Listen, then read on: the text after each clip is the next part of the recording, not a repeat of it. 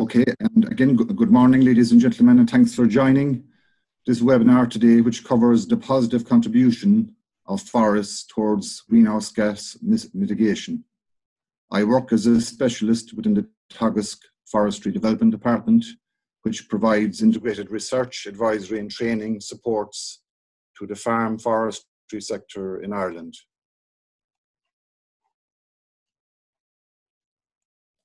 So just to go through briefly the topics today, a brief overview of the forest resource in Ireland. We will look at mitigation pathways, including those within and outside the forest. I will present indicative data for sequestration by forest category, and we will have a look at implications up to 2030 and beyond. I will briefly look at riparian woodland and its associated benefits We'll have a look at ongoing research to help that to help build forest re resilience, and I will briefly cover hedgerows and potential for mitigation. Okay, so th they are the main topics. And maybe just to set the scene first, we have a significant forest resource in Ireland which can be further harnessed to provide multiple benefits for society. And 11% of our land area is under forest cover, as you can see from the map we have almost 23,000 private forest owners, the majority farmers, who own almost half of our forest resource. And the picture outlines the Teagasc role in facilitating knowledge exchange in the forest. We have an export-orientated forest product sector, with exports reaching almost 430 million in 2018. And again, looking at jobs, activities such as forest nursery operations, forest establishment, management, and the utilization of wood provide sustainable employment, mainly in rural areas. And through our work there, we, we, we try and ensure that forests can complement other farming enterprises and be a developing resource on the farm. And from the environmental side, um, well-designed and sustainably managed forests have an important role in the provision of the services that more and more people are looking for. And these include carbon mitigation, provision of recreation, biodiversity enhancement, as well as water quality benefits. So that's just a brief overview. And maybe just as a couple of open, opening comments, um, it is important to point out that forests can't provide the full answer to climate mitigation but still they have a highly significant role to play. In farming, for example, we can also achieve considerable emission reductions through the agricultural mitigation pathways and the good practice adoption measures as, as outlined in the Teagasc MAC curve, which has been covered in previous webinars. Another statement I would make that climate change is not the only reason for sustainably expanding our forest resource. And there is a clear and ongoing need for a balance between sustainable wood production and realizing the social and environmental roles underpinned by sustainable forest management in new and existing forests. So that, that balance between the economy, society, and environment is very important as it is in, within agriculture. So just to br briefly look at the planting categories, farmers and landowners considering forestry have a range of 12 grant and premium categories, or GPCs for short as they're called, and these are available under the Department of Agriculture, Food and the Marine Afforestation Scheme. And the scheme caters for all types of forests, including, as I'm showing, uh, conifer options, broadleaf options, there are native woodland categories and agroforestry, as you see in, in this slide, which integrates trees and farming. And there's the forestry for fiber category, which facilitates growing of productive species for wood energy and other uses. And I suppose the message here is that a suitable mix of these categories can be combined on any planting application and subsequently managed using different silvicultural options. And in this way, we can meet multiple objectives for landowners. So looking at forest carbon, and we have obligations for national forest inventory reporting to the United Nations Framework um, Convention on Climate Change and under the, the Kyoto Protocol also. And at forest level, carbon balances are based on the net carbon emissions or removals from five pools. And these are reservoirs of carbon. So we've got the above ground biomass pool, the below ground biomass pool, the litter pool, which is the um, material coming from the trees, such as leaves or, or needles, and the dead wood pool, and finally the soil carbon pool. So there are the five pools. We also hear of the term fluxes, which are carbon transfers from one pool to another. And the forest modeling framework that, are, that is used for reporting includes all carbon fluxes associated with these pools that I'm showing. So carbon dioxide is taken out of the atmosphere and sequestered, or in other words, it's taken up by the trees during photosynthesis with a corresponding release of oxygen. And the rate of carbon uptake is affected by many factors. We also get long-term allocation of carbon into above and below, below ground forest biomass and turnover of biomass in, into the soils and dead organic matter. We get a lot, sometimes a loss of carbon as a result of respiration by trees, both above and below ground, as well as decomposition or oxidation of soil organic matter. And if carbon uptake in the forest exceeds loss, the forest is called a sink. Or if the loss exceeds the uptake, the forest is called a source. The final output is the sum of the carbon stock changes within the forest system. And looking, looking at estimating carbon, this slide presents the national forest carbon stock as estimated in the 2017 National Forest Inventory. And you can see from the graph of the total stock of about 312 million tons of carbon, almost 80% is contained in forest soils, which is by far the largest pool in the forest scenario. The national inventory also tells us that on average, our national forest resource takes up 4.3 tons of carbon dioxide equivalents per hectare per year.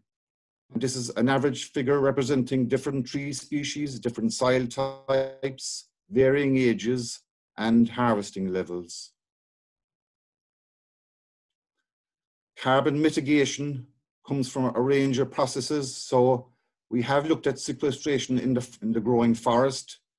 Also, what is termed the land substitution effect is relevant. And this relates to the preceding land use prior to planting. This land use may have been emitting or removing carbon, concrete and steel, and perhaps the ultimate example is Mjøstårnet in Norway, which at over 85 meters, it's currently the world's tallest timber building, and construction was reputedly inspired by the Paris Agreement.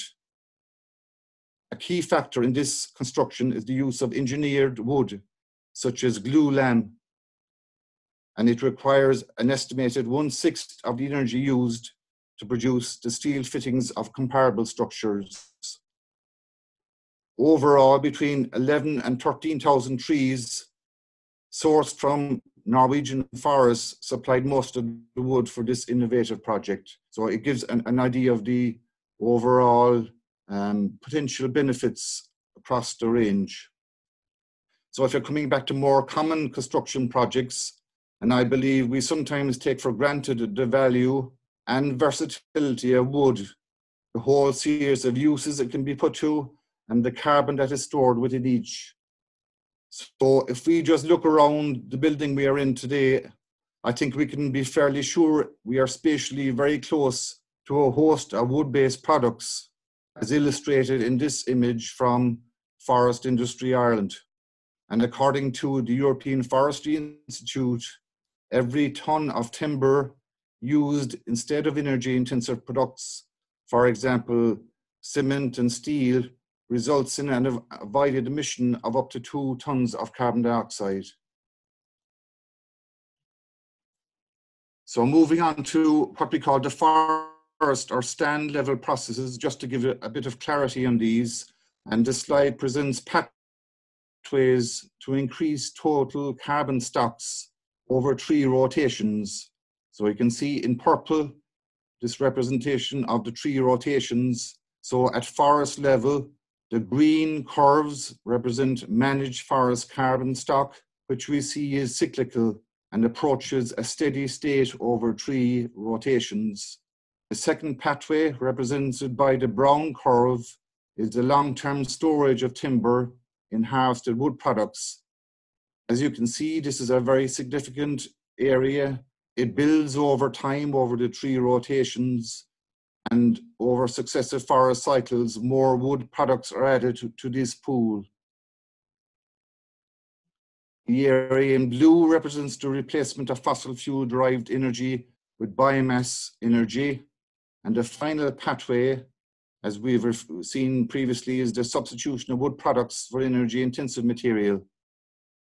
Finally, the dashed line in the image represents the indicative carbon stock in an unmanaged forest, which as you can see is only about one fifth of the indicated carbon stock in a sustainably managed forest when all pathways are taken into account. This is a plant and, and clear fell system, an alternative approach to forest management we call continuous cover forestry is gaining considerable interest also. Though more challenging to quantify, it can also be an effective approach in terms of delivering long-term climate benefits and carbon mitigation. So looking at the grant and premium categories we've already covered. This slide shows recent analysis of indicative sequestration rate for these different categories. And these are potential values, I must stress, with an associated range of assumptions. And they are normalized to an average carbon sequestration rate and expressed in tons of carbon dioxide equivalent per hectare per year over two rotations. The reason for this is that it allows for like with like comparisons for different species and rotation ages.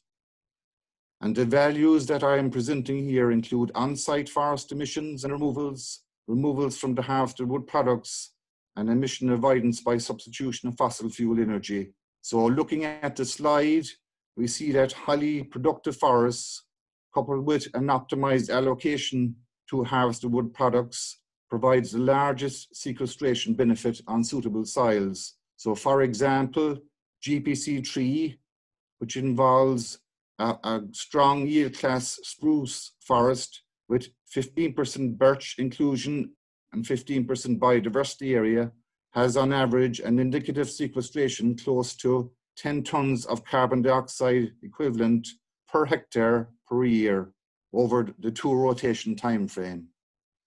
Similar rates are indicated for GPC 12, which is forestry for fibre category. In more general terms, broadleaf species tend to take longer to accumulate and the same level of carbon stocks as conifer crops due to their slower growth rates.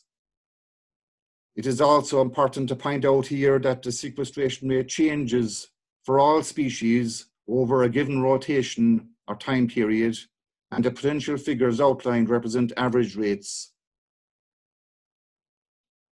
Just to touch on native woodlands for a moment, which are a very important resource um, and attractive funding is available as we've seen through GPC 9 and 10 to establish these, what I would call national treasures. And this slide provides an indicative carbon sequestration for native woodlands, a range of native woodland types over a 100 year period and we can see these vary according to factors such as species, soil, and site types, and the management approaches that are adopted. For suitable native wood, woodland projects, the Woodland Environmental Fund, which is administered through the Department of Agriculture, Food and the Marine, offers an, an access point for businesses to provide additional financial support and incentive for landowners to plant new native woodland and it can provide an innovative corporate social responsibility option and perhaps enhancing business reputation and social cohesion. And there are a number of examples of such collaborative approaches already in place around the country at the moment. To continue the theme for a moment, and the appropriate design and location of new native woodlands combined with undisturbed water setbacks provides an exciting option that may help and protect water quality. And I think this has been referred to previous, in previous webinars. And this woodland for water measure developed by the Department of Agriculture, Food and the Marine in conjunction with the Woodlands of Ireland and other stakeholders may offer solutions that may be considered in appropriate situations. And as you can see, perhaps adjoining productive agriculture, forests, or the built environment. So to briefly look at the elements of the, the woodland for water measure, A is the water body, which is the, the element we, we look to protect. B represents a permanent undisturbed water setback that would be 10 to 25 meters in width, crossed by drains and largely unplanted. This can be widened strategically as required. Limited planting of single or small groups of, of native trees can also be considered to deliver services such, such as bank st stabilization, dappled shade, and as, as a source of aquatic food. C represents new native woodland, which will be 20 meters or greater again uncrossed by drains, and it can also be widened strategically as required, where adjoining land use, hydrology, or slope may increase the vulnerability of receiving waters. And finally, in D, it represents possible interventions within existing drains, such as silt traps, slow flow dams, to break existing pathways from source to receiving waters to create pocket wetlands and settlement areas. So overall, an exciting opportunity here within this measure. So looking at mitigation pathways and flexibilities secured by Ireland under the EU effort sharing decision, which includes 5.6% of the 2005 base year emissions, amounts to 2.68 million tons of CO2 equivalent of land use, land use change and forestry are LULUCF credits each year. And a significant portion of this will come from forestry. The slide I'm showing here shows the measures identified within the Teagasc MAC curve under mitigation pathway two, which is LULUCF or land use, land use change in forestry. And I suppose the take home message from this slide is that forestry has a considerable and cost-effective contribution to make to the National Abatement Challenge with the potential to mitigate up to 2 million tonnes of carbon dioxide equivalent each year up to 2030. However, we can ask the question, what are the implications for our current low planting rates? And just to move that on slightly, the LULUCF regulations use six land categories, and among these, it recognizes an afforested land category, which transitions to a managed forest land category. In Ireland's case, it will be over a 30-year transition period, where it accords with the IPCC guidelines. And this is quite beneficial. But looking at a scenario where a 30-year transition continues, for example, it would in effect mean that by 2050, only new forests planted from 2021 onwards will contribute towards achieving the goal of carbon neutrality. And again, this scenario would be subject to any limitations in EU law and assuming the same countings rule apply. So what, are we trying to show here? I think it does show potentially very serious implications for current and future planting rates and highlights the urgent challenge and the clear need to approach forest planting targets set out in the Climate Action Plan. Just briefly looking towards future resilience within forests, and while our forests can provide pathways to mitigating the effects of climate change, we must also be conscious of the effects that changing environmental conditions can have. And there, I think there's a need to develop resilient forests as well as a need to build knowledge and capacity really to be well placed in terms of climate change adaptation challenges.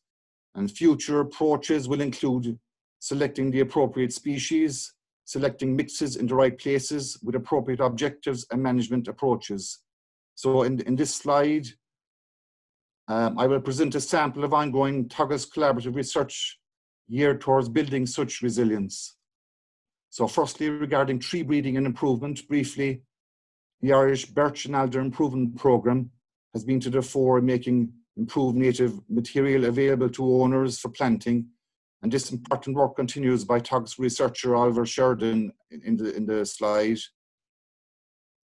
A new project called Fit Forests will focus on key species used in Irish forestry to provide up-to-date information on the best provenances and seed origins adapted for future Irish climatic conditions. This project is led by Dr. Niall Farrelly in collaboration with UCD, NUI Maynooth, Coillte, with funding from the Department of Agriculture, Food and the Marine. Teagasc researcher Dr. Miguel Gritz is, is working to build genetic resources of ash composed of individual genotypes with a high degree of tolerance to ash dieback. And this will be used to bulk up stocks of tolerant trees, as well as establishing seed producing orchards. And this work is in close collaboration with um, Queen Mary University, London, and valuable collaboration with other partners across Europe who facilitate screening for disease tolerance.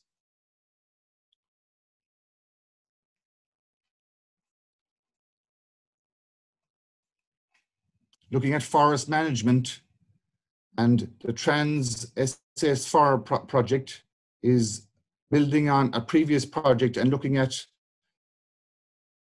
look the um, continuous cover concept. So moving from a regular Sitka spruce plantation up to developing continuous cover and looking at the thinning regimes for that, which is an important um, option for the future. Dr. Ian Short is looking at broadleaf silviculture and restructuring. And this, again, is a very important um, process for building future resistance. And another project which looks at integrating pest management for the pine weevil in Ireland. We'll look at a, a range and explore a range of opportunities for control of this important pest. Moving on finally to hedgerows and to, to briefly look at um, some of the issues around that. Um, hedge, hedgerows, carbon emissions or removals from hedgerows are currently not accounted for. Um, the accounting requirements should capture emissions or removals compared with a reference or base period. So in this regard, while our national hedgerow resource is a significant carbon stock, it is the additional sequestration over and above a baseline that is important. And a number of collaborative projects um, in relation to the extent and sequestration capacity of hedgerows and other landscape features are either completed or underway. And the next slide will show this progression. So looking at in 2011, Teagasc produced a hedgerow map of Ireland based on 2005 orthophotography all areas of mature hedgerows, individual trees, and non-forest woodland and scrub areas were digitally mapped to a one meter resolution. So the result was national cover of these categories was estimated at approximately 450,000 hectares or 6.4% of the land area with an 80% accuracy. A collaborative EPA funded project completed in 2014 used LIDAR data to estimate that hedgerow and non-forest woodlands could potentially sequester 0.66 to 3.3 ton of CO2 equivalents per hectare per year. These exclude potential emissions, of course, from hedgerows, management and disturbance. More recently, a collaborative EPA-funded project with the acronym BRIAR examined biomass retrieval using remote sensing, and the outputs gave an estimated hedgerow length of 600 and 89,000 kilometers, a, a, very significant resource. The project made some recommendations, including a five-year national point cloud-based in inventory of hedgerows and work in terms of looking at the differences between managed and unmanaged hedgerows looking at direct assessment of carbon stock in the field and considering of carbon stored in banks on which hedgerows are planted. And to follow on from this, Teagasc is currently collaborating in a farm carbon project, which is led by the EPA and co-funded by the Department of Agriculture, Food and the Marine. This project is very timely as a follow-on from projects using remote sensing assessments and has a number of important objectives. It involves field study sites and subsequent analysis, which will assess both above and below ground hedge biomass, litter fall, and soil organic carbon. And our photo shows uh, researcher Lilian O'Sullivan from Johnstown Castle at work. The project develops the um, a hedgerow carbon accumulation model and a model to consider soil organic carbon under hedgerows as well. So outputs will be very valuable in terms of improving the estimated carbon dynamics, for example, sequestration and storage and impacts of management. It also involves the development of a scorecard for assessment of hedgerows, which is a further important element. Finally, new hedgerows, and this slide summarizes the extent of hedgerows, newly planted trees, and newly planted orchards under farmer and current agri-environmental schemes. So we can see that over 6,600 kilometres of new hedgerows have been established since the commencement of the initial Rural Environmental Protection Scheme, and almost 3.8 million new trees were planted, so quite considerable. So just to conclude, some of my final take-home messages. Well-designed and appropriately managed farm forests have significant potential to deliver climate change and many other benefits Again, it's not a silver bullet. I think we have shown that pathways exist both within and outside the forest, but there is much work to, to be done, and the challenge is to sustainably deliver on targets.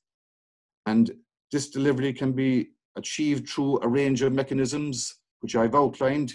So increasing sustainably the forest cover, managing our forests, minimizing deforestation, which is netted off our targets, optimizing long-lived harvested wood products, as we've seen from some of the graphics, and appropriate use of wood to substitute for energy-intensive materials or fossil fuel energy.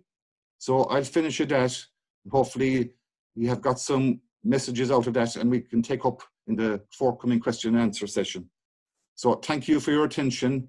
And just Mark, before I finish, I think we discussed this I've included a slide here, which I think will be shared afterwards, which involves useful links that occurred during the presentation. So this will be available and perhaps will be useful for participants that have joined in today in terms of accessing further information.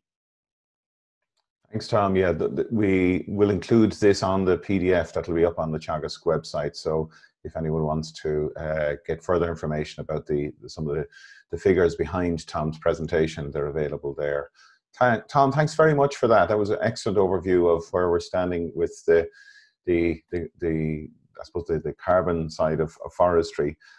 Suppose one of the big questions, um, and you mentioned it in your last slide, is to to increase sustainably the, the forest cover in Ireland I know we've been we've been hovering around the 11 percent marker for for some years now. Um, you know, it's a big statement to make. You know, we need to to increase sustainably, but how can we do that, or what are what's holding us back from increasing that that area uh, under under uh, forestry in this country? I suppose there's there's a quite a, a lot of elements to, to that um, question mark, and if we look at previous studies, the the decision to plant some forestry, it's a complex decision um, process for farmers and there's different drivers. There's physical, economic and socio socio-cultural drivers there. Um, but I think on, on, balance, we interact with a lot of farmers and landowners and there, there is um, quite an interest in, in, in forests. Um, and again, in, engaging with forests, with forest owners is an, an important um, part of that.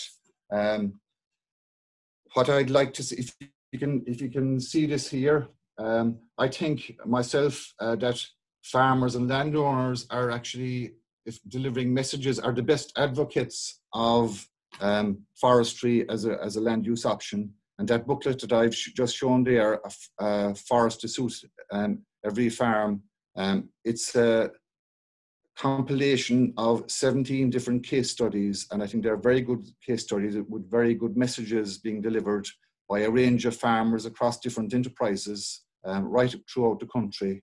This was recently launched by, by our director, and I think it tells a lot of different stories, different approaches of the multiple benefits of forestry. So we think of forestry as timber production, but the case studies there show a whole range of other approaches from recreation, reducing the day-to-day stresses of life, um, using um, forests for um, other processes, um, continuous cover forest adoption, and innovative approaches. For example, um, one, one award-winning farmer who has looked at putting some forestry on the marginal land and using the premium income to, to lease in better land.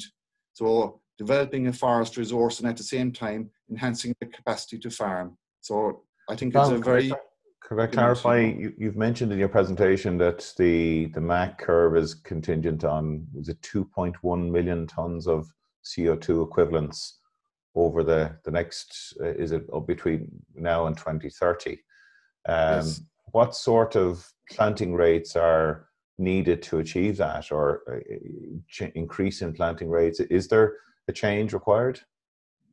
There, I think there's an immediate change re required in terms of our planting rates. Um, uh, now, because of that rolling period that I, I showed in, in, the slide, previous planting will come um, into the reckoning for our targets up to 2030. But again, if we're looking towards the end of, uh, of this next decade and well beyond 2030, if we're going towards carbon neutrality, it's essential that we move to higher planting rates on a sustainable basis to um, ensure that we continue to have our forests as a, an appreciable sink um, going forward beyond 2030 and up towards 2050. So I think I showed in the slide that it's a big challenge, but it's also very, very um, important if you're looking towards those targets. Pat, we, we've got quite a few, a lot of interest yep. in, in this topic today, uh, a lot of questions coming through. So um, maybe we'll we'll try and move through them as quickly as possible. So, so Tom, if, if you don't mind, try and uh, keep your responses as, as concise as possible because there, there's a lot, a lot of questions coming through here. I suppose re re related to uh, the, the, question you asked are what are the key policy um, initiatives that could assist in the increase in, in increased planting, or are there policy uh, barriers there? Yeah, well, I suppose Teagasc doesn't get into the policy side of things, but if, if we're looking at maybe recent feedback from, um, you know, from different sources that, okay, it's, probably important to expedite any pinch points that are in the system, maybe for in terms of the approval system and also in the appeal system. And I think that is a priority that is um, shared right across the forest sector with all stakeholders. Um, so that, that is important. Other feedbacks we can get as well is that we'd say if we look at agri-environmental schemes such as REPS, that um, the, I suppose, uh, a, a, good uh, connection with forestry in terms of um, integration of schemes has worked well in the past. So maybe it would be an option there um, as well to consider. But again, it's it's it's not Teagasc's role really to get into the policy. But if we look at the recent proposals um, for government, I think there's 17 measures um, in all that relate to forestry and land use. And um, again, listening to recent feedback, I think is very positive and that there's quite a range of measures there that if looked at and perhaps adopted in a, an appropriate way, can make a positive contribution to our targets. Okay, a question there. Where do you see the the, the role for uh, agroforestry and and uh, it, I suppose both in terms of of uh, land use and also in terms of of uh, sequestering carbon? Okay, and, and as I've shown in terms of the sequestering, as I've shown um, in the slide, um, um, it's one of the grant and premium categories, and there's 12 categories in all, and um, agroforestry um, what isn't one of the higher um, categories to sequester carbon, we'll say to productive, faster grown species.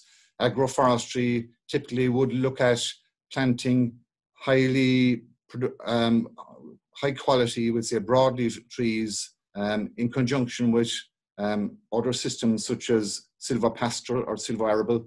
At the moment, silvopastoral is, is in the, the program, so, but um, I suppose we can't look at carbon sequestration on its own. We can also look at the range of benefits that um, systems like agroforestry can provide, um, both from the forestry side and also from the, the farming side, such as animal welfare. There's evidence of um, in, in improved um, production within, within um, cattle uh, systems. Um, there's also evidence that there's um, it, it, dries up the, the land and there's better trafficability maybe towards the end of the season. So quite a range of benefits. There's biodiversity benefits and it can be used in different systems, maybe for water quality protection as well. So again, we have to, I suppose, take a, a holistic view of each and, and assess each category in its own merits. And again, I'm getting back to the balance between um, the environmental side, and maybe there's the economic side as well, of course, that, that um, we, we need to take on board and have a balanced approach, I think is important. Okay, there's a, there's a few questions about uh, afforestation on, on uh, peat uh, soils and peatlands. One in relation to uh, maybe currently unused or, or, or uh, finished uh, uh, Bord na Móna extraction sites and a more general one on, on uh, peatlands in the broader landscape. What is the potential role for forestry there? Yeah, okay, and I think we, we, we've um, we're aware in the past of a potential collaboration between between parties on midland peats in, in terms of, of establishing some native woodland on that. Um, so I think that is, is something that's that's um, in, in uh, uh, progression um, on, a, on, a, wider level in terms of looking at peatland sites and um, the, the policy around planting peatland sites is contained in a 2016 publication by the Department of Agriculture, Food and the Marine, which is called Land Types for Afforestation. And I think that's that reference will be in the, the slide that, it, that we'll share afterwards. And within this policy, it is looking at um, a, a system to assess the production, the productive side as well as the environmental side. So from the production side, there are restricted um, peatland types in, in, this document, which include the likes of wet heaths, dry heaths, um, and raised peats. Um, the assessment uses um, categories of vegetation cover to give an indication of nutrition and suitability. Um, so this is um, used as a process in terms of selecting um, peat sites. Now there is evidence as well in terms of, and it's in the MAC curve maybe, of rewetting of peats, and there's evidence for that coming along in terms of certain peat types as well. So I suppose we have to look at the science that is there and make the best um, decisions for land use in those areas. Question here, uh, it says, first of all, great presentation. Uh, as biodiversity is great, greatest in woodland ages, is this taken into account in, in new woodland planting? Um, certainly is, and I, I, think sometimes people have a perception, if we look at the more productive forests, they may have a perception that it's 100% of one species, which is called a monoculture, but over the recent decades, we've moved away from that. And um, we look at a GPC category, which, which would include a productive conifer such as spruce or others, and also an inclusion of 15% of a broadleaf species, that's a requirement. And a further requirement is to leave 15% of the area as open space or retained habitat for biodiversity enhancement. And that participant's question is, is, is um, very informed in that we can use tools within the forest system at the moment, including edge management, management of the setbacks that I showed in the slides to enhance biodiversity. And also there's a, a change in biodiversity over a rotation. It's higher at an earlier stage. We can use um, good quality practice such as thinning to um, leave more light into forests. And at the later stages, again, the biodiversity tends to increase. And a lot of forest owners that I've encountered have a strong interest in biodiversity as well as production. And many of them, including in our booklet, have actually used a mix of species, which I think might be a pathway to um, improve biodiversity as well as retaining productive forests. Okay, there's a there's a couple of questions in relation to to water. One uh, is just asking the question uh, about the the woodlands for water scheme. If there are risk areas for water quality that are not necessarily adjacent uh, to this uh, to a stream, is there a potential to to avail of that scheme a little bit further back, or how far back can you go from a watercourse in relation to it? And uh, yeah. I'll give you the the other question was relating to, I suppose, the broader impact of forestry on uh, water quality and the, the, forestry plantations over a period of, of, if you take it right from the 80s right through to, to the, the early noughties.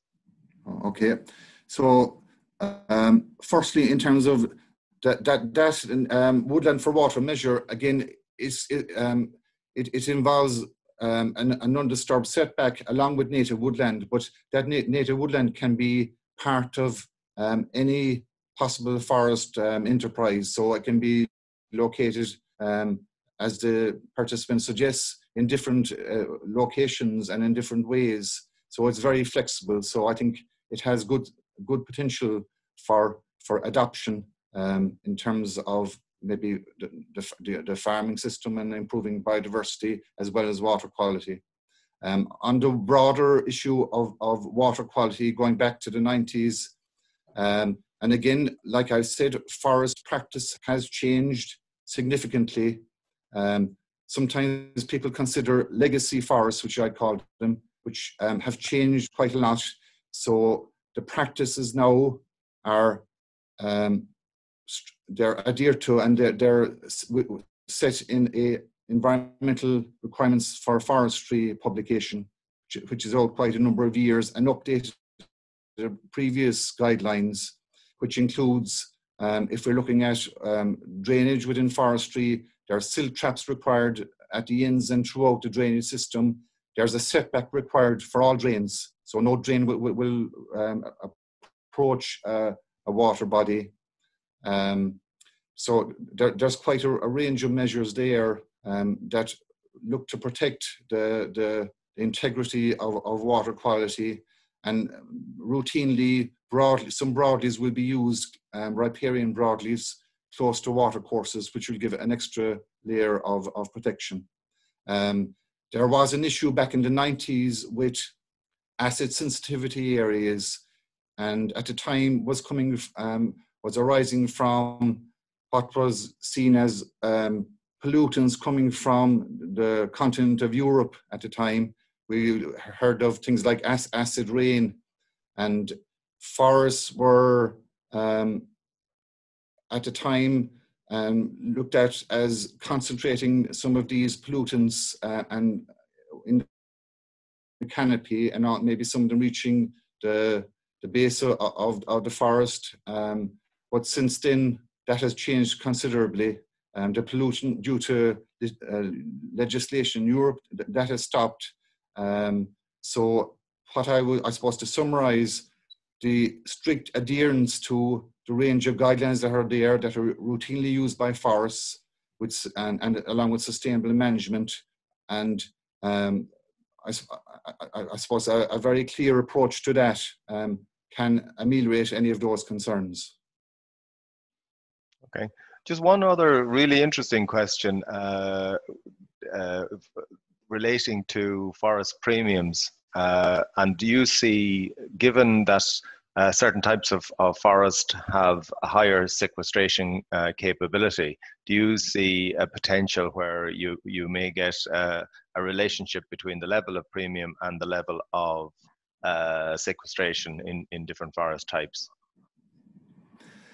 Um, it's a possibility, and I know that um, the Department of Agriculture, Food and Marine have looked at systems, for example, in the UK, there's a woodland carbon code now, they're, they're, it's at the stage of, of investigating it, see has it maybe applications here. Um, and again, we don't get into the policy, policy side, but um, speaking to owners, I think they would welcome such an initiative if it is a runner and, and it's feasible to implement. But again, that's a, a, a, policy decision. I think that is outside, outside our scope. Tom, we have a, few, a question in relation to the, uh, I, I, think it's the 1946 Act, where if you plant forestry, uh, it must remain in forestry. Um, the question is here is, uh, I mean, is this limiting the amount of forestry that's being planted, or has there been any uh, survey work done with, with farmers around their attitudes uh, to this? Uh, yes, if we look at some of the previous analysis which is, is carried out, including by Teagasc, and maybe we've, we, we have looked at um, the different um, issues that are raised, and one of those would be the permanent nature of forestry. Um, so it is something that um, is, that owners would look at as being um, maybe a bit of a barrier, even though we say if, if marginal land is being considered, forestry can be a very good um, land use option on that land, the, the long-term nature or the permanence of forestry can be seen as um, a barrier to, to that. Okay, thanks, thanks, Tom. Uh, uh, just to go back to the original question around the, the forestry planting figures and the percent, we were talking more around percentages and tons of carbon uh, uh equivalents being uh, sequestered. But in terms of actual hectares, uh, what sort of how does that translate in in hectares in terms of hectares uh, where we're at at the moment now compared to where we need to be at? Is that on a national level? Uh, I think that's on a um, national level. Well, really, yes, on a national level. Um, yes. Well, at, at the moment, um, our as a, our planting figures are low, they're well below the targets. And um, so what we need to do is to, to achieve this um, up to 2 million uh, tons of carbon dioxide equivalents each year over the next decade. Um, as I said earlier, the, the, previous planting and taking into account the, the, rolling, the, the rolling transition period, um, previous planting uh, we'll get credit for that um, over the next decade. But coming towards the end of that period and definitely into the 2030 period, if we the climate action plan looks at 8,000 hectares of new planting per annum as a target, and I think we'd need to be looking seriously at it, at the options for, for achieving that and even exceeding it if possible. Um, even front loading it, I think, would be very beneficial. But again, that's down to the, um, I suppose, the opportunities that are taken there for that, for that um, decision.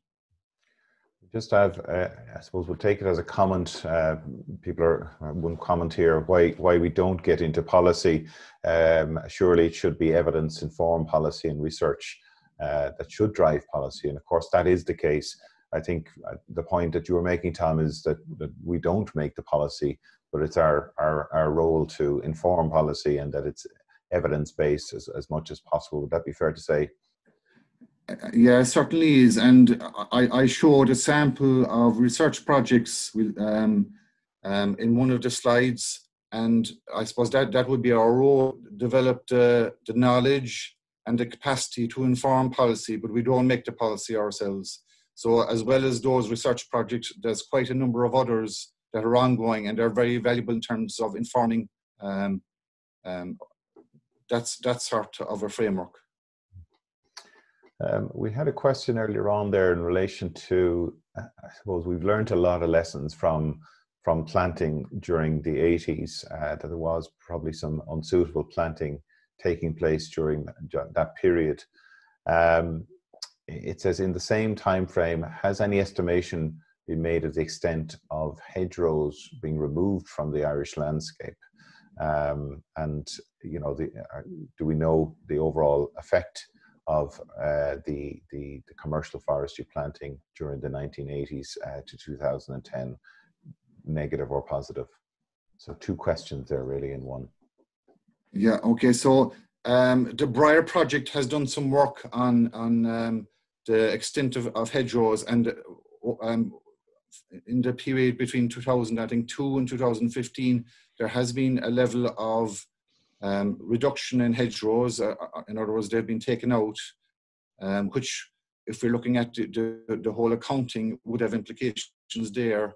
Um, but as far as I know it, it, that, that rate has declined significantly in recent years. And sorry the, the other question was uh, the, sorry, the first part of the question was in relation to the positive or negative impact on water quality and biodiversity from these plantings that uh, took place during the 1980s to 2010 period. What, what would be your estimation on that, or are there any uh, papers around that?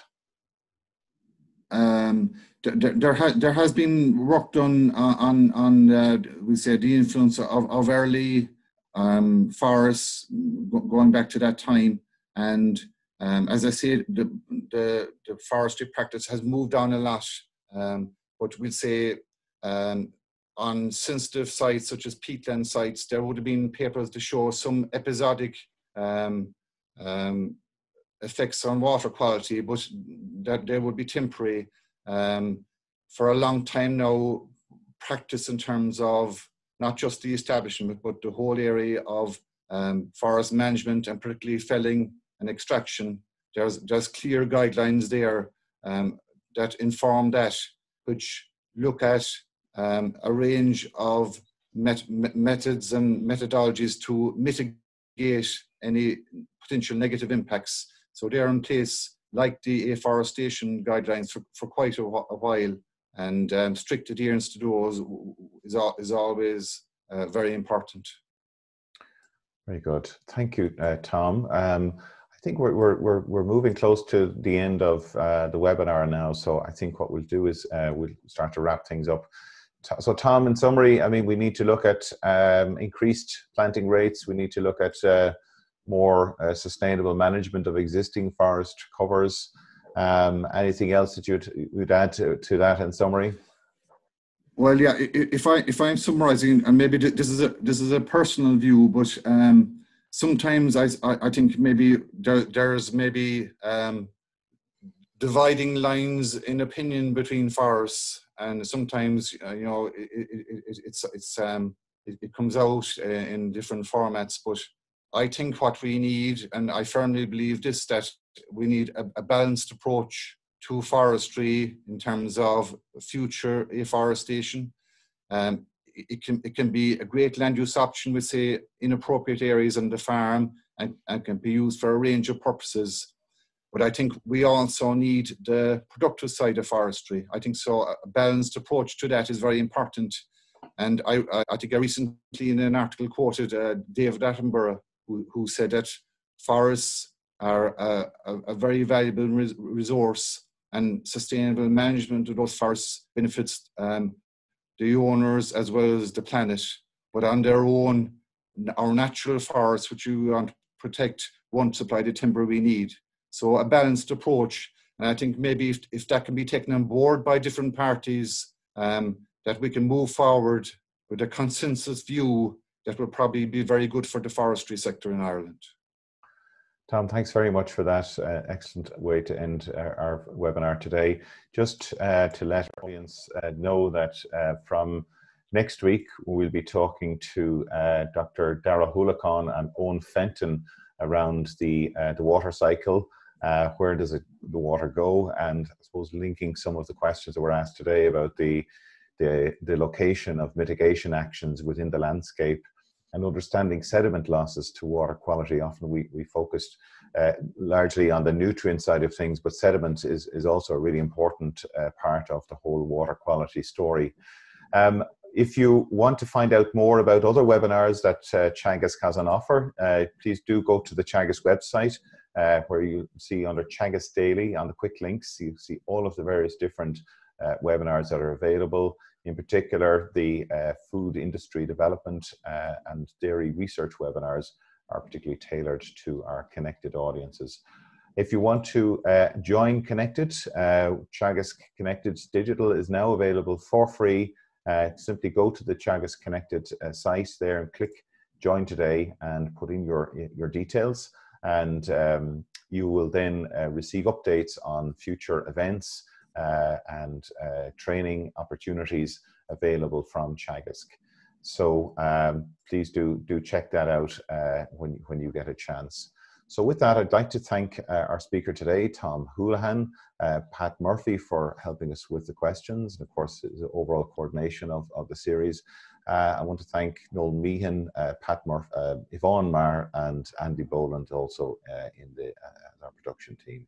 So do join us next week uh, from all of the team. Thanks for your attention today, and we look forward to seeing you again uh, uh, during our other webinar series. Thank you.